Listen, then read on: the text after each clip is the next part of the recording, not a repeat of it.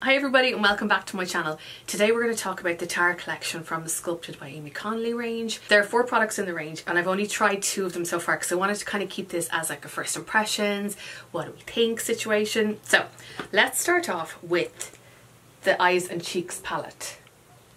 Cheeks and Eyes palette. So this is what she looks like inside. I took the overlay off when I was taking photos of it. But you can see here, can you? That Tara has named all of the, the shades after people that she loves. Why am I not here, Tara? So we have five eyeshadows, a bronzer, a highlight and a blush in really flattering colours. This is a piece of me in a palette. I love warm tones, especially with green eyes. Like In terms of the colour selection, I think that these are shades that will go with a lot of different eye colours. I like the fact that the bronzer here it looks quite cool toned, which should be good for carving out the cheekbones need a lot of that. So we have this. Then we have the Cheek Lip Cream. That's what that looks like. And this is in the shade Peach. This is the lip product in the range. There's a gloss on one end and a liquid lip on the other end. So you can wear them either together, separately. You have that. And then I knew there is going to be a nude uh, lip, or not lip liner, eyeliner. Because Tara is mad about using that on the waterline to help open up the eyes. And I was like, yes, I knew. But there is a kohl pencil on the other side. So I thought that I would go through the products in a bit more detail, show them to you in action and see what we can do. I think with this palette I kind of want to try and use all of the shades, like maybe I'll do two different eye looks. That's what I'll do. I think I'm going to start off with this shade in the centre called Ruby. That is after one of Tara's dogs. She have two? Yeah, she's two dogs. Is Teddy in there? Oh, there is. That's Teddy there at the end. Phew. I was like, there will be war if one dog is named and not the other. so these three shades, this one, the middle one and the end one are matte shades and then the two um, either side are like, hold on, this one and this one are shimmers. So I'm just working Ruby into the crease. Is a really nice warm toned matte shade. Nicely pigmented. It's going on evenly kind of keeping it all in the crease. Now this is just, I'm not a makeup artist, this is not a tutorial, this is just what it looks like on me with my very limited skills. Also, very enjoyable large mirror, hello, um, that you can look at. I think what I'll do is bring that same shade under the lower lashes. I feel like this makes my green eyes look even greener instantly. I think I want to use Izzy, this one here, um, on the lid. I'll try it with my finger. Oh, it's nice and creamy. Oh, that's lovely. It's like a bronzy, coppery shade. Oh, that's very nice. I find that shimmers with this, like, this is just my personal preference. I'm sure um, you'll have like different ideas, but I find that shadows like this work better on me with my finger um, because like it sticks to your finger like a little bit, like that's the shade there. Oh, it's so opaque. So I'm just going to use that same brush just to make sure that everything is blended in the crease. And now I think what I'm going to, I'm just going to keep this simple. I'm going to try really hard. I'm going to use the liner. I'm going to use the Nudent. Is that called something? It's called Brighten. Just use that on my waterline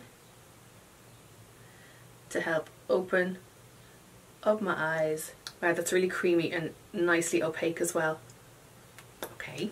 What I'm going to do is take the highlight, which is the shade Jewels, and just put it into the inner corner. Oh my god, that's gorgeous. That just adds a little bit of interest. Okay, so that is the daytime look for now. We may go back in. And I think what I'm going to do for the nighttime look is what I would usually do is for a lot of my looks would take would be take the bronzer into my crease. Just I mean I could absolutely take Ruby again into the crease but I just want to see what this looks like. I haven't used it on my face yet. I haven't used this palette at all. But I just want to see. I think sweeping a bronzer over your lid even into the crease just helps your eyes look more awake, gives that a little bit more dimension and adds shadow. Oh, I really like this shade. You can see it has like an ashy tone to it, like a cool tone. It's not too warm like compared to, uh, I keep having to look ruby in that, that side, in that crease. So I'm going to take Teddy this dark shade on the end. Just going to take it bit by bit just into the outer corner. That's really nice. That has added a little bit of drama. Okay, I'm going to leave it like that for now. I might go back in a second. And now I want to take this shade, Ava, on the finger again, in the centre of the lid.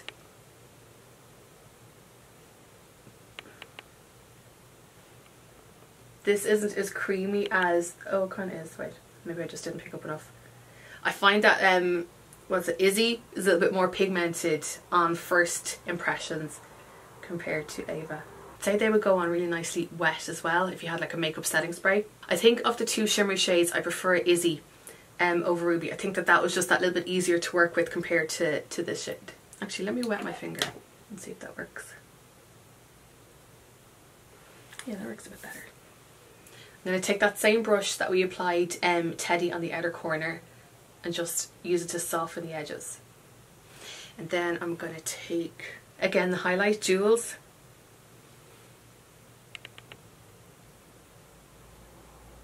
I think as I'm applying Jewels to the lid, it's removing a bit of Ava. Is Ava, Ava, sorry. I feel like we need more of Ava on the lid. So what I'm going to do is take just a really small brush and apply a makeup setting spray to it and then pick it up and see if that is better. Yeah. Colour itself is gorgeous. I kind of want to let this dry down, but I still think that Izzy looks smoother than Ava. Then I use the other end, I'm going to use the smoke end of the pencil. Now this is a kohl pencil, so as I said, wait and see how pigmented this is. Look, I'm like barely using any pressure at all. So I'm going to work from the outside in, keeping it close to the lash line. I'm bringing it up slightly at the corner because when I smoke it out, I just wanted to have that angle. Like an illusion of a winged liner. Okay, so I'm keeping it quite concentrated there and I'm going to smudge it with a little tiny little brush. This is a Nema brush. I don't want this to be blown out too much so I'm just going to keep it quite localized. This is so smudgeable, this the liner. Whatever's left on the brush, I'm going to drag it from the outer towards the center, or towards like, sorry, the inner corner of the eye. Now I just want to go back in with Ava on that same brush that I used to apply and just tap it over the liner a little bit. Yeah, see that just kind of softens it up a little bit more. I just love when everything looks real smoky and smudgy. That's perfect. I'm going to bring Ava on that wet brush again, just under the lower lashes. Just listen, I'm going to go in with the smoke on the waterline and hope that nobody uh, rings the doorbell. What I like to do is when it comes to a liner like this, apply it on the waterline but then pull it down into like the roots of the lashes. It helps just make sure that there's no gap. Now, you can either tight line if you want or if you don't like tight lining because that's like lining the upper kind of waterline, try blinking really hard and that will help transfer some of the colour. Can you see? Okay, let's do, actually no, let me do mascara. I'm just using the regular uh, Maybelline Sky High mascara. So give me a second and I'll put this on. This mascara is incredible for length and a couple of coats gives really decent volume. Don't know if you can see that the cream eyeliner, like the nude eyeliner on the waterline has just disappeared a bit now. Maybe it's transferred up above, but it seems to be kind of catching just at the outer part of the waterline close to my eyelashes. See there, just on the very outer part of the waterline where it just about meets the lashes. Just congealed a little bit. But I'm going to go back in, let me just, while that's happening, while that's drying, the mascara, I'll just go back in with the second layer. And see, because I know when you're blinking, it will transfer because it's like a wetter formula up to the um, upper waterline. So, shall we just see? God, I haven't worn anything on my waterline in ages. It feels so strange. FYI, this is just one coat of this mascara. I go from like the upper lashes down to the lower lashes. It's just that same one dip. I haven't double dipped or anything. Okay, the eyeballs are done.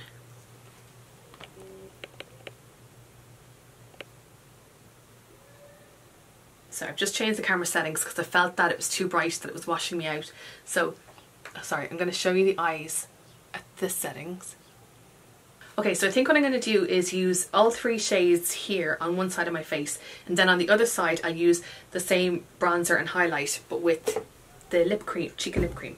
Okay, this brush is splayed out just so, so you know because I used my hair dryer to dry it. Okay, thanks. Ooh, that's very pigmented. Oh, I thought that was going to be a lot less pigmented, but it is. I have cheekbone there. I'm going to have to use the, the, sorry, just so you know, I have two of these in case you're wondering. I'm going to have to use this end to just take it down a little bit. So just FYI, this looks like it's going to be very pale and sheer, but it's not. But I love the colour of it. I love the finish. I just take a little bit of it into across my forehead as well. Then we're going to go in with the the blush here on the palette. Oh, I went in with like three swipes and a lot came off. Oh, that is gorgeous. I'm applying a lot of blush. This is just what I do, okay? We'll just go with this. Yeah, I have like an absolute intense amount of blush. That's gorgeous. Oh, that is so nice. Now what I would usually do, I'm going to use the, do the cream blush on this side. Um, my new thing is to take my blush, whatever blush I'm using, and now I'm going to just use like the smallest amount, and just dab it across my forehead so that it looks like you caught a bit of sun. I just think it looks nice. If it's not your thing, don't do it. It's fine. It's only makeup. It's like a little bit of something, something. And then whatever's left on the brush, I like to just bring it across my schnoz. Again, to look like, oh look at you, you were you in the sun. And you're like, no, I am caked in makeup. I think I'm going to try applying this with my fingers. I think that'll work best. So this is the cream blush in Peach. I wanted to compare this shade to the Peach Pop uh, cream blush so you could see them side by side just in case if you're wondering were they similar. This is more pinky whereas this is more peachy. I've been wearing this loads. I think I prefer in terms of packaging I think I prefer this one over this one because you keep having to go again you could go in with a brush or a sponge if you want. I just wanted to kind of feel the texture. With these blushes they're a cream blush but they're quite slippy but they're not oily slippy like there's enough kind of movement in it but you still get colour payoff. Okay, so this one, oh that's very nice. Also, if you find that cream blushes don't last on you, now for me, it depends I suppose on the day, if I'm out and about, um, if I'm having like a particularly stressful day, if I'm holding my face in my hands a lot, um, my makeup will disappear. Um, sorry, but I found that with um, Peach Pop, it lasts on me all day. Can you see like the kind of pinky undertones? Oh my god, I love this. I like to apply the cream blush if I'm using my fingers. Um, I'll do this with like liquid blushes as well. I have cloud paint blushes that I apply with my finger.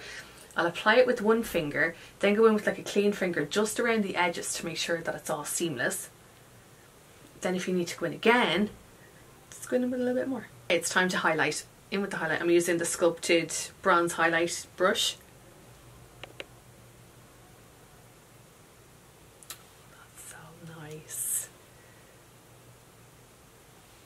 That's gorgeous. Oh my god, that shade is perfect. Because when I saw it first, I was like, I wonder is that going to be too gold? Because I'm quite pale to pull off a gold highlighter. But it has like the perfect mix of gold and champagne. Let's see how it sits over the cream blush.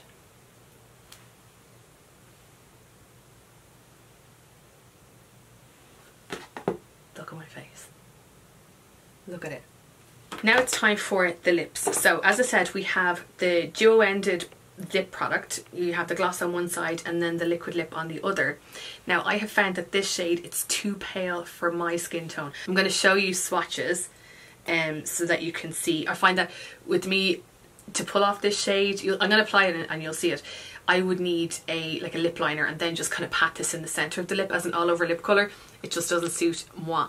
But this is the liquid um, lip end. Like look how creamy. And then really nice and sheer.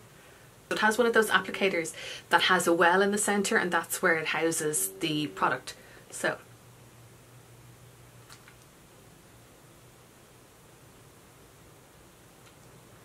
actually that looks really nice on. I think when I tried it on before I had no other makeup on um, it looked quite pale. So that is the liquid lip. I'm going to put the gloss over the top so you can see what it is like.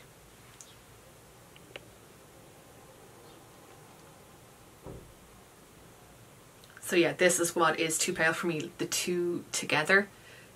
Just a little bit too nude, but if you like your pale peachy nudes, you're going to love this. So that is the gloss on top of the liquid lip. I will say though that in terms of formula, the liquid lip, it dries down really nicely. There is a bit of tackiness until it dries down. The gloss feels like like a lip balm. It's not sticky, it's not gloopy.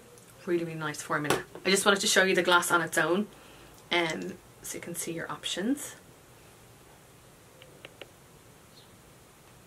So yeah, it's just a really pale, pale, pale colour. I think with a darker lip liner, this would look beautiful on. And there we have it. That is the Tara collection from Sculpted by Aimee in action on the visage.